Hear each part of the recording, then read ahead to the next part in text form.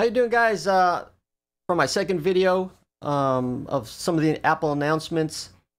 Um, this has to do with the next Mac operating system, High Sierra. Now, it's reported that there are officially going to support um, eGPUs over Thunderbolt 3. Now, um, eGPUs um, using workarounds, and now may this may even been uh, even in El Capitan. I'm not sure, but I know in Sierra for sure that um, people have gotten eGPUs to work through Thunderbolt 2 um, using external um, uh, PCIe boxes. Um, uh, and then they use some kind of script file to automatically enable them.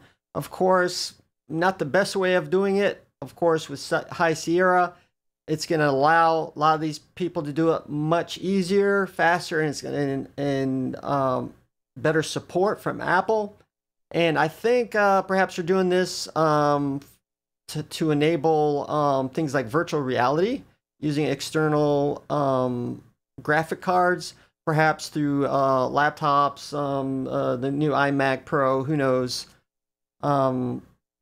Um, but um, I don't know. Uh, are you guys going to use the uh, new eGPUs uh, through Thunderbolt 3? Or are you using one now before uh, uh, the, the Mac Pro comes out or the iMac Pro, whatever?